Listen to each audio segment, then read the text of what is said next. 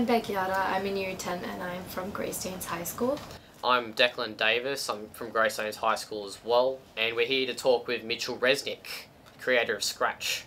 I'm really happy to be here. So it's great to get to visit Australia and to be sharing ideas with you. So I'm really looking forward to learning more about you know the, the things you're doing here in Australia and to mm. share some of the work that we're doing at the place I work at the MIT Media Lab. So how, how's your time been in Australia? Do you, do you like it? What do you like? So I just arrived yesterday, so it's still quite new. Yeah. Uh, but it's been great. I sort of arrived to a beautiful day and ran along the harbor, Mm. uh, and have already been having great conversations today about all the types of you know creative things that are happening uh, with with education and learning here in Australia. So tell us your story. We would love to know how Mitch Resnick got to where he is today. Well, it's a it's a long story, uh, but you know I think after I graduated from college, I'd always been interested in math and science. I majored in physics, but somehow I didn't feel like I wanted to go on in that. Uh, but I'd written for my college newspaper, so I decided to become a journalist, writing about science and technology, sort of combining many of my interests together. Yeah. So I did that for around five years. This was a long time ago. It was right when personal computers were first coming out to the world, and it was exciting for me to do that. But I wasn't sure I wanted to do that forever either. And then I was very fortunate. I met someone who really played a big role in my life. His name was Seymour Papert. And he was one of the great pioneers of technology and learning. He was one of the first researchers to think about how computers could be used by kids in creative ways. So I decided to shift my career, left journalism behind, and got involved with technology and learning. And I worked with him, and I've basically been doing the same ever since, continuing to come up with new creative ways to use technology to let kids learn things in new ways. So, uh, in some ways, I think many people have to be prepared to, to make changes in their lives and start at one thing, but if it doesn't work out, try to do something different. So um, what's your everyday inspiration to keep innovating? Well, I think I get inspired by just spending time seeing what kids do with the things that we create. So I feel really fortunate with our Scratch software. You know, there's this online Scratch community Yeah. where every day there's 30,000 new projects that kids around the world share on the Scratch online community. So looking at their projects always gives us lots of ideas. So I'm always inspired to see what kids create. Because even though we developed Scratch in my group at MIT, um, that you know we're often taken by surprise by what kids do with it.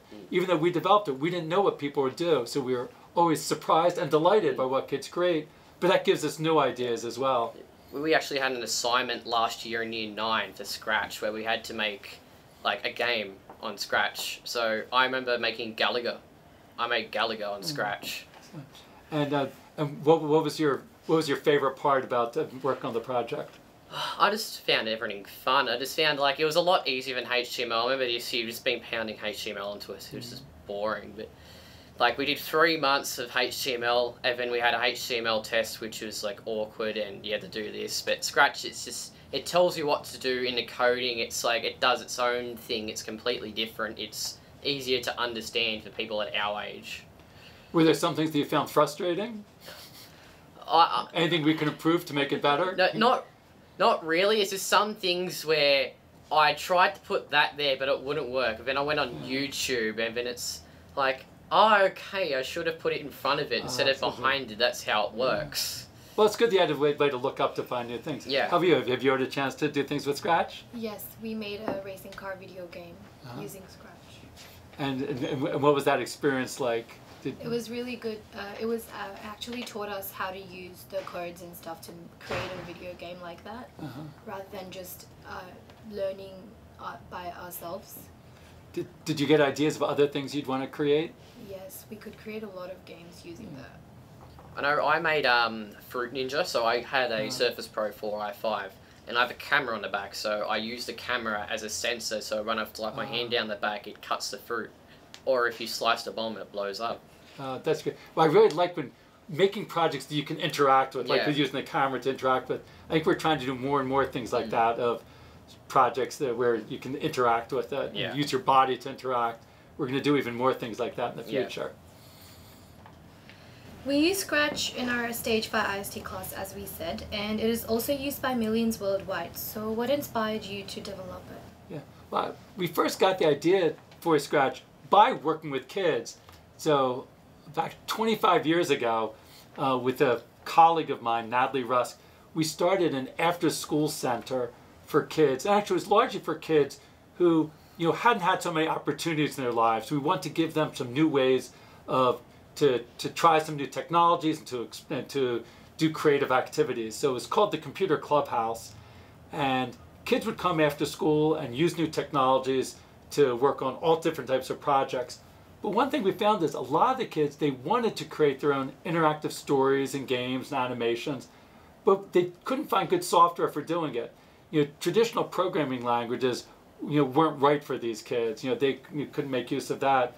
But the other types of applications they could find didn't let them make the type of exciting projects they wanted to make. So it's clear they wanted to, you know, to, to make things, but they couldn't find the right you know, tools. So we saw there's this real opportunity because we knew it was going to be a great learning experience for them if only they had the right tool.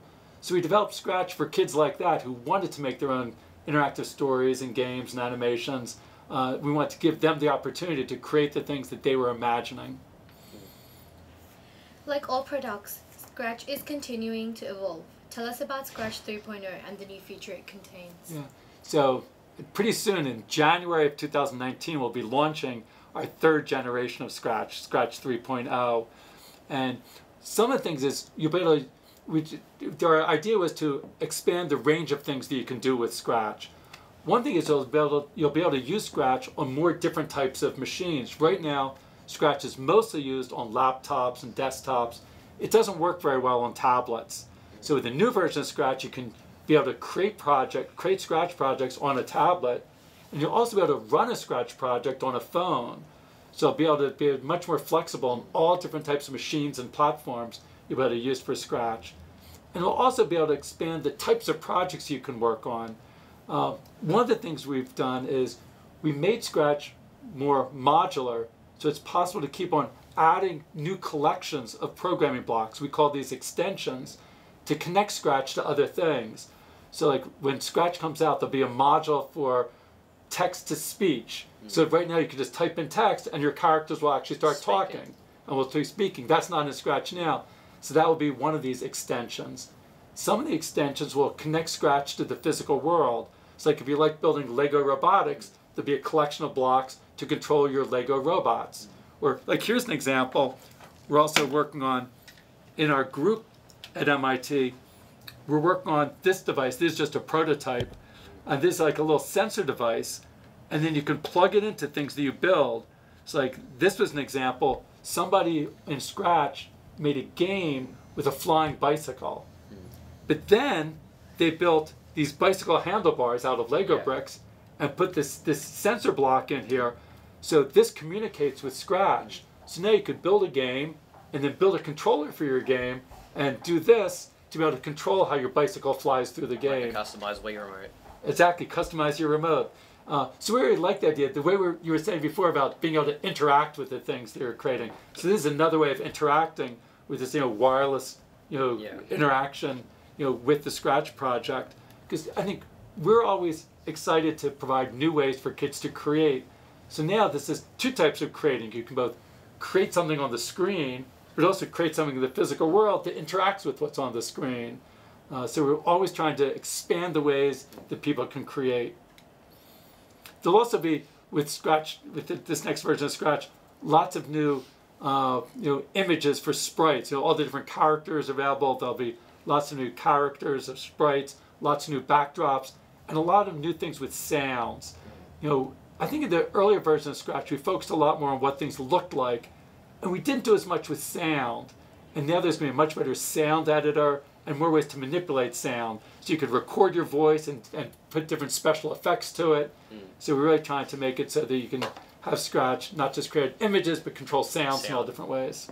Because I know when I was using the sound in year 9 IST, I could upload music onto Scratch mm-hmm. and then play it through the game. So, like, you wanted to play music, or while you're playing, could play different tones, like right. screeching around the corner when you on your yeah. motorbike or your car, or.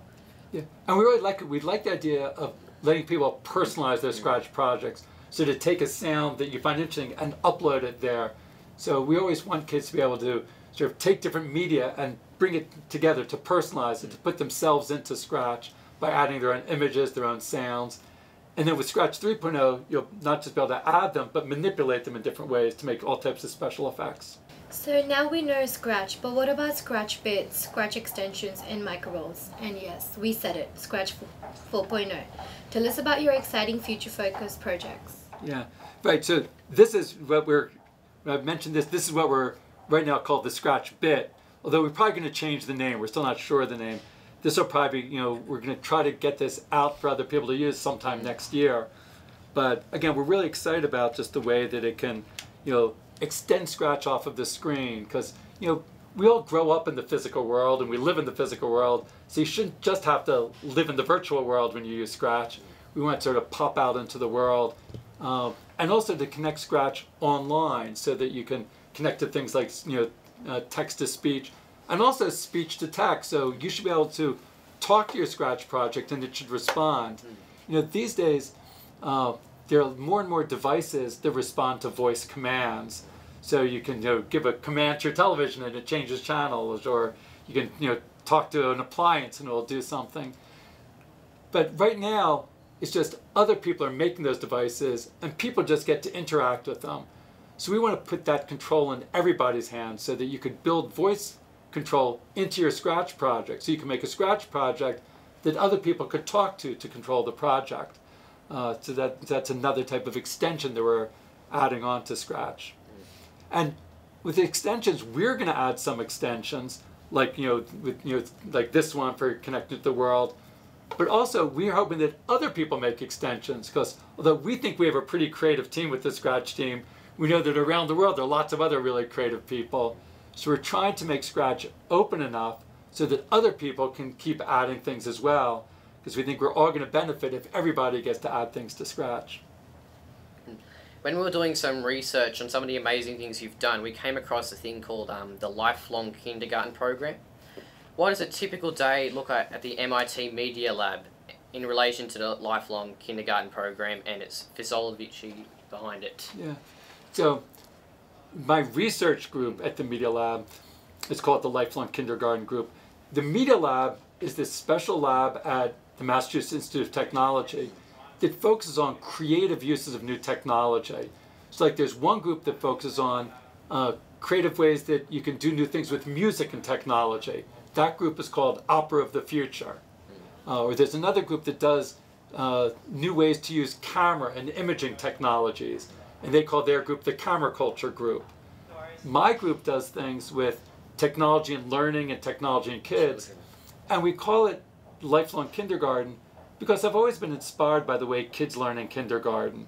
You know, if you think of the traditional kindergarten, I'm not sure if this is the way it was when you were in kindergarten, but when I think of the traditional kindergarten, kids are playfully creating things in collaboration with one another. Art and things like that. Yeah, they they, they, they build towers with blocks and, Yeah. and make pictures with finger paints and crayons. Was that what your kindergarten was like? Yes. Yeah, and I think that uh, I'm always inspired by that because I think kids learn a lot when they're playfully creating things with one another.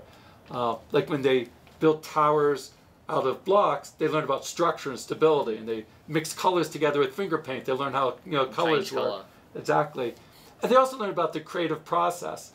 Uh, they learn how to start with an idea and create something and keep modifying it based on what when they try it out. And I think that approach of developing as a creative thinker is so important today. I think you know, you know, today's world is, is changing so quickly uh, that you don't know exactly like, you know, when you get out into the world, probably the world will be a different place, you know, a few years from now. So you don't know exactly what you're going to need. So the ability to think and act creatively will be so important because you'll be facing a never-ending stream of new and uncertain and unknown situations. So you'll have to come up with creative and innovative solutions. So I think kindergarten gets kids off to a good start. But unfortunately, and I'm not sure if your schools were like this, but after kindergarten, a lot of times, you know, schools is just with kids filling out worksheets or listening to lectures. Have you, have you had some of that in school? Yes. Massive. and and I, I think the rest of school should be a little bit more like kindergarten. All Uh, hands on. Yeah, it's hands-on and playfully creating things of people working together. Uh, so, in the Lifelong Kindergarten group, we try to develop new technologies and activities for learners of all ages to do things more like kindergarten. So developing Scratch was one example. So although Scratch is intended for kids older than kindergarten, we still see it in that kindergarten spirit of where you know kids are playfully creating things with one another. So when you make a Scratch project like the ones you told me about, the games you were telling me, you were you know of course you were way beyond kindergarten, but I see it as a little bit like a kindergarten spirit. You were playfully creating things with the computer. Uh, testing how it works. Exactly, testing it, revising it. So that's that kindergarten spirit. So that's what we're always trying to do. So if you come to the Lifelong Kindergarten group, you'll see the the university students and researchers there are always trying out new technologies and testing out new activities and then studying what kids learn as they use those technologies. So in some ways, when we develop new technologies like Scratch, it's not so much different than when you're working on a Scratch project. When you work on a Scratch project, you sort of create a first version of the project and you try it out, it doesn't quite work, and you, fix, you try to make some changes to it. As the same thing with us, when we make a new feature for Scratch or a new piece of physical hardware, we make a first prototype, we try it out. If it doesn't work exactly as we want, we keep revising it. So we do that same process. So I think we see the MIT Media Lab, even though it's at like one of the world's most advanced universities, it's a little bit like a kindergarten. Mm. We try to make our lab like a kindergarten. So even the university students in our lab are playfully creating things mm. with one another because that's how we think we get to be creative. In our generation, our generation are exciting times. We have much more available to our fingertips, but it's not enough to be a consumer of all it is. How to become a generation of creators? Yeah. So I do think it's important. You know, it's a little like imagine if you grew up and you learned how to read, but you didn't learn how to write. Right. Now that would be really a shame. I mean, it's still useful to learn how to read. You know, you could sort of read a menu and you could read a street sign, but you couldn't share your own ideas. So I think for us, I think it's really important, you know, to let everybody share their ideas with the world. Um, so writing is one important way of doing that. That's one reason why I think it's important for everyone to learn to write. You know, even though most people don't grow up to become professional writers, but I think it's good for everyone to learn to write so they can express their ideas to the world. And I think it's the same thing as we think about new technologies. We don't want people just interacting with technologies, although that can be useful. You know, you can just interact with a, an, an app and that you can get useful things. But I think when you create with technology, you get to take your own ideas and get them out to the world and share your ideas with the rest of the world. So that's what we always want to do. We want to try to provide opportunities for everybody to develop their own voice and to, and to be able to share their ideas with the world. And that's what Scratch is about. We see Scratch, think of it as an extended form of writing. Mm. So with writing, you can tell a story. With Scratch, you can tell an interactive dynamic story. So it's the same type of thing, but with new media. So, you know, we try to give new ways of writing, but using new technologies, you can make even new types of things that weren't possible before. I'm, uh, I'm one of only five girls in this stage 5 IST class. This is a 9 to 1 male dominant subject. What advice do you have for females thinking of pursuing a career in this field? Yeah. Well, I think some of it is also we should give some advice for people who are the designers of technology and the educators creating classes and workshops to make sure that they create things that are appealing to kids from all different backgrounds and all different interests and across all genders. So I think one thing that we tried to do with Scratch was we tried to make it so you could use Scratch for all different sorts of things so that it would be appealing to all different types of kids with different interests, both boys and girls, kids you know who like games, but also kids who like stories and animations. Uh, kids who like art, kids who like music, kids who like science, all of them can find something to do with Scratch. Uh, and I think we need to, we're, that's how we try to make it appealing for everybody. And I think we need to do the same thing with classes and activities.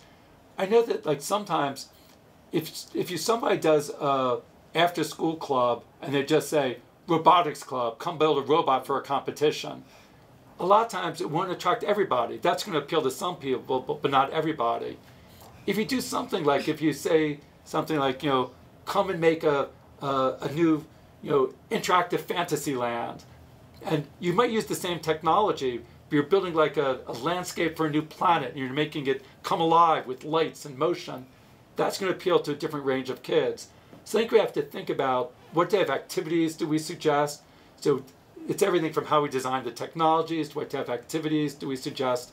All of that can make a big difference of who's going to end up getting attracted uh, to these activities. So the first suggestion I have is that we need to do a better job of providing a wider range of technologies and activities to make sure that it's appealing to all different kids from all different backgrounds uh, and across all genders. Uh, and for me, that's the most important thing that we can be doing. Um, there's just been the release of the. Uh, do, do you think that would make a difference? Like for you, do, do, do, do, do does that make sense to you? Do you think that? Yes. Yeah. Because sometimes uh, some of the activities that we do don't like uh, attract females so yeah. much. It's more it's more of a like male attractive. Yeah, yeah. So I think that's so important to make sure that it's yes. going to appeal, to you know, to, you know, to, to everybody. Uh, and it's bad because then once it gets started, you get this bad negative spiral because again, if the class doesn't have you know many female participants, then other female participants won't want to join because they already feel that oh that's not for me. So it's sometimes hard to break out of that. You know, if it's in a bad place, we're gonna have to work extra hard to make those changes. Pressure. Yeah. Um, there's just been the release of the digital technologies and computational thinking in school curriculum in Australia. What message do you have for our teachers? Yeah.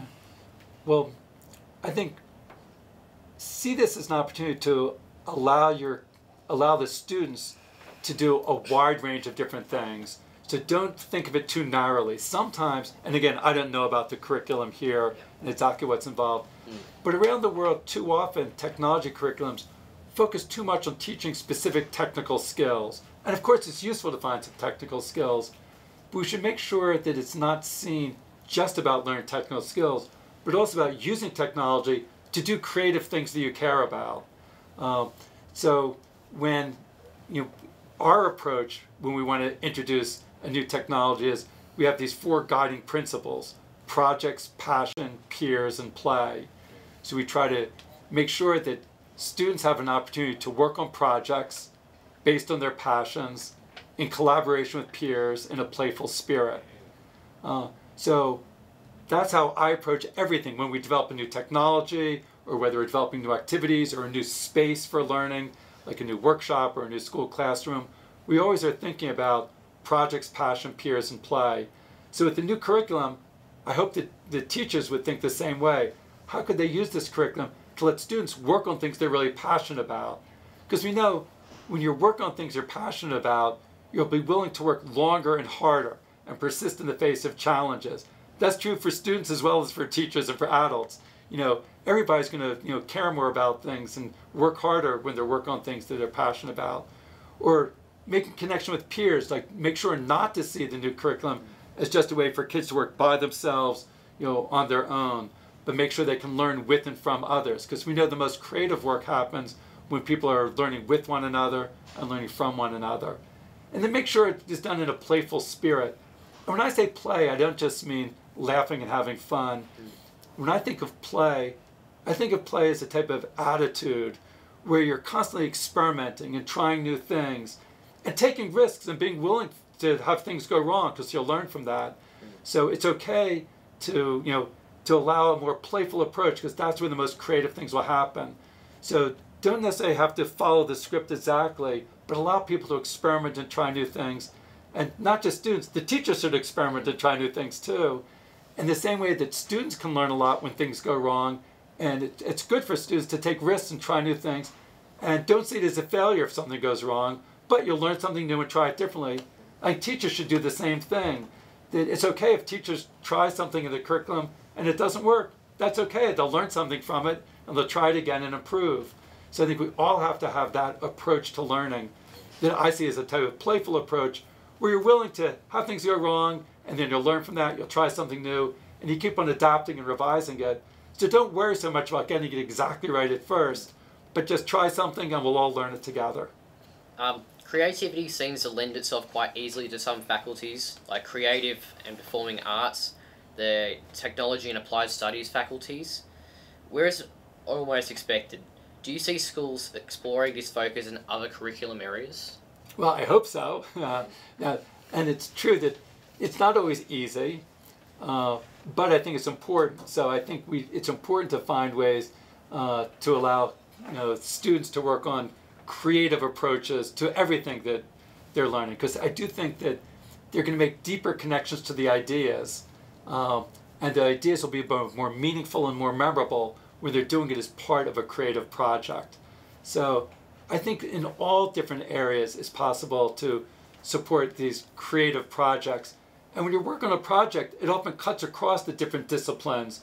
That when you're working on a project, you know, you learn so many different things. Like I remember a Scratch project I saw. This was from an elementary school student was doing a book report. Uh, but as they were doing the book report, uh, on the screen it was like an animated, you know, book report. And of course they were using language. It was for a language Yeah. class. They were learning language. But also they had different characters. And their characters were like moving back and forth. And as they got further away, the characters got Smaller. So they were learning about their artistic idea of perspective. Uh, and then to make it smaller, they'd use math knowledge about how to, if you want to change the size of time to become smaller, you multiply it by a fraction. Concrete objects. Yeah, so they were learning not just language, but art and math.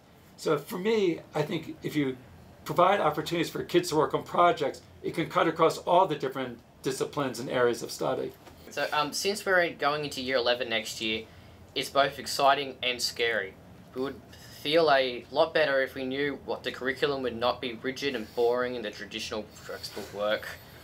We would give, if we were to give you an item of technology and a subject area, can you tell us what classroom experience would be like? Like, I'll, I'll give it a try. It sounds like it Mm. might be hard, but I'll give it a try. So the first one is uh, drones in business studies. Drones and business studies. mm, Uh, well, in business studies, you know, I would think, besi- you know, right now I know there's a lot of experimenting with how you could, you know, change around the way businesses work if you're having drones. Like I know that certain people or certain companies are exploring could drones be used to to deliver packages or deliver mail. So maybe the challenge would be, you know, how can you take an existing business and try to have it change around if you had access to drones? How would it change the business? Or how could you start a new business that wasn't even started, it, was, it doesn't even exist today, if only you had access to drones? Um, microbit and geography. Okay, so with uh, again, so with microbit and with everything, I'd always want to see kids being the creators of things. So I can imagine, you know, doing something where I'm going to use the microbit uh, as uh, something that I use the sensors in the microbit to detect where things are on a map. So somehow I'll, you know, I use the microbit sensor so that as I interact with the map, it'll then trigger something on the in Scratch. So I have the microbit connected to Scratch, of course, because I want to connect everything to Scratch. Uh, and somehow as I sort of interact with the microbit, it will then send a signal to Scratch about what part of the you know map I'm talking about, and it'll give me some extra information about that.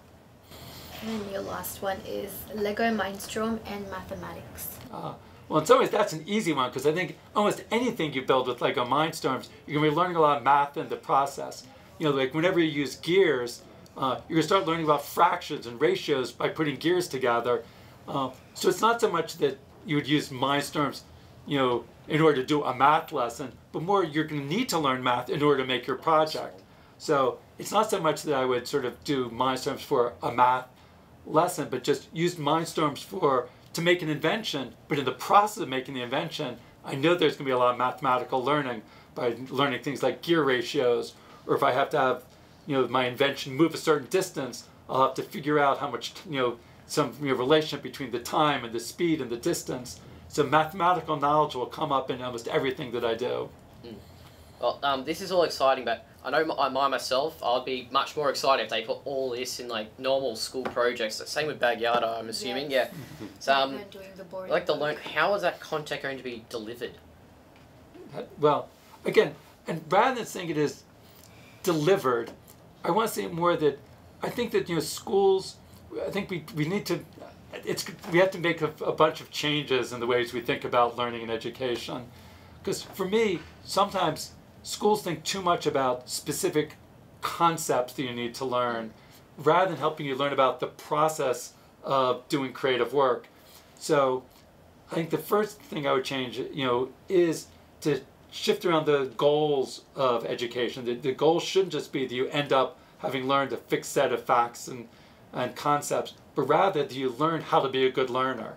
Uh, but then, if we can all agree that that's the most important thing to help kids grow up as good learners so they're prepared to learn new things as the world keeps changing, then I think we need to then sort of shift around the school to say, how can we help kids develop as, as, as better learners?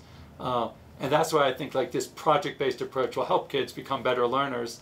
And that's the least way I would organize a school. The year is 2022.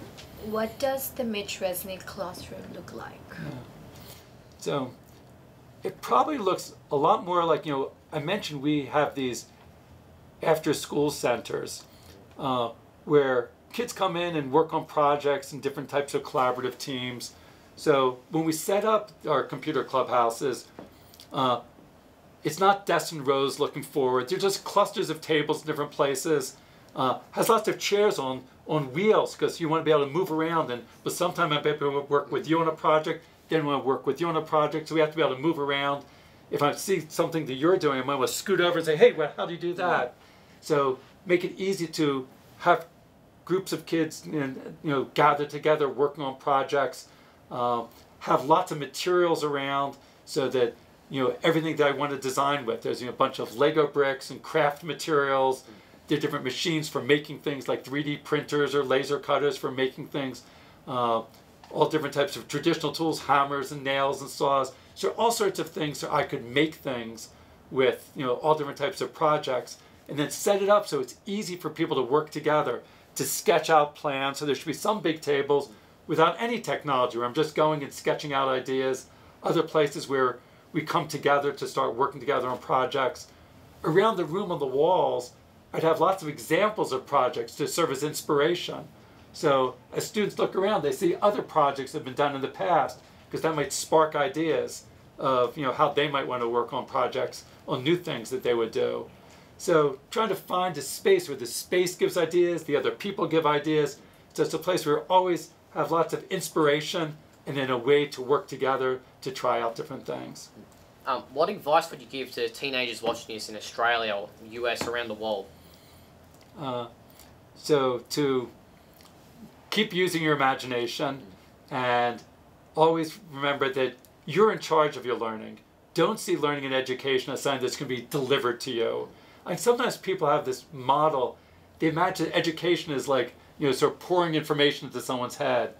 And and that's not that's not the way that real learning happens. So it, it's not to put pressure on you, but it's really on your shoulders. Of course, there can be people around to help you, your teachers, your parents, mentors, other people will help you.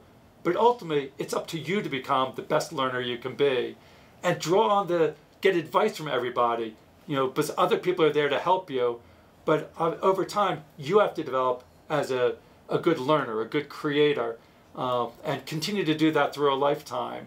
Um, and in doing that, you're going to find the best way of learning things and creating things if you follow your own passions. So always, you know, be searching for the things that really make you excited. Because if you follow, if you work on things you're most excited about, you're going to make the best connections to ideas, and you're going to learn the most that way.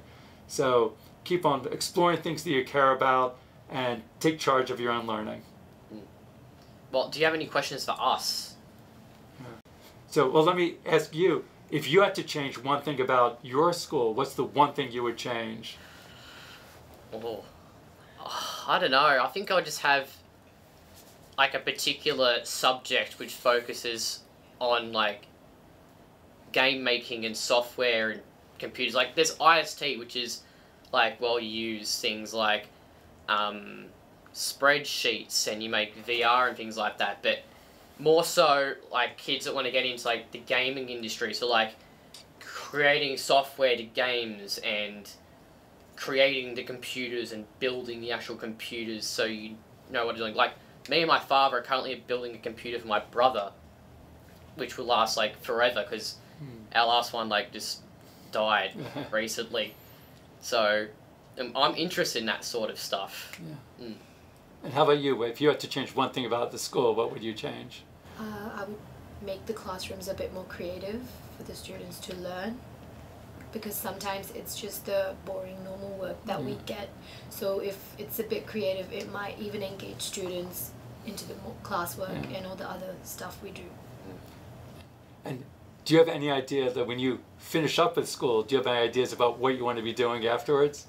Well, after school, I, I want to join the Navy. I want to go down to the Australian Defence Force Academy in Canberra and do a business degree. And, and come out as a um, maritime warfare officer. Well, you have a pretty, pretty, pretty Yes, clear plan yes, in yes. mind. How about you? I want to do e- uh, either physiotherapy or journalism. Wow, that's also a lot of plans. But the one thing, I think it's great you have plans, but also, I guess the one advice I have is if you follow those plans and it comes and, and you continue to be happy with it, that's great.